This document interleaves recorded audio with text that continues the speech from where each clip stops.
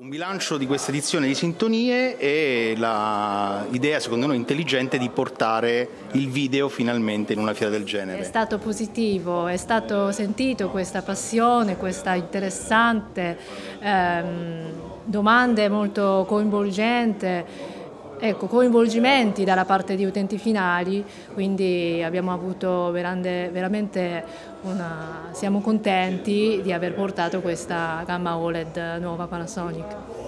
Senti, tra poco eh, meno di un mese ci sarà un altro evento a Roma dove voi sarete presenti. Esatto. Eh, in che modalità? La stessa modalità? Ci sarà qualche cambiamento? Dunque avremo, porteremo Technics come abbiamo fatto fino all'anno scorso, serie di giradischi piuttosto che prodotti componenti all in one, poi naturalmente anche nuovo G7 2000 OLED Panasonic. Anche noi stiamo utilizzando eh, Panasonic, in questo caso il lettore, nella sala GVC, tra cui so che c'è una forte collaborazione tra Panasonic e GVC per il proiettore.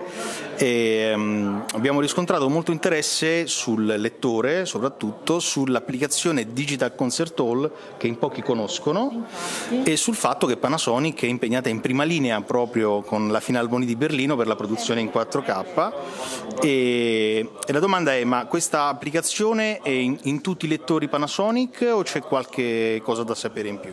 Eh, ci sono ehm, compatibilità con tutte le serie 420, 820 più 9000 naturalmente quello top di gamma anche la serie 320-330 quindi eh, quelli di quest'anno 150 450 sono esclusi perché in, sono dedicati per i lettori, eh, lettori disco eh, esclusi la, la scelta per eh, un utente finale che utilizza eh, televisore smart eh, per avere servizi OTT, 150-450 quindi non hanno eh, nessun OTT, tutte le altre serie sono compatibili con, appunto, con quest'app eh, con Berlin Philharmony.